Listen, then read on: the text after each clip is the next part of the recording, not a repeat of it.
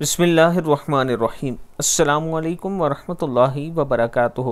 مرتے دم تک ہر مصیبت سے حفاظت ہوگی۔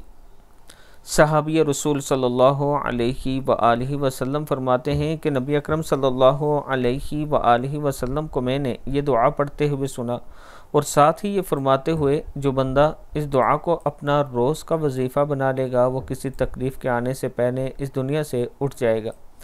دعا ہے، اللہم احسن عاقبتی فی الامور کلیہا و اجرنی من خزی الدنیا و عذاب الآخرہ یا اللہ، میرے امور میں میری عاقبیت اور انجان نیک کر دے۔ اے اللہ، دنیا میں ہر ذلت سے اور آخرت میں ہر عذاب سے بچا لے۔ ابو داود کی حدیث ہے، اللہم احسن عاقبتی فی الامور کلیہ و اجرنی من خزی الدنیا و عذاب الآخرہ۔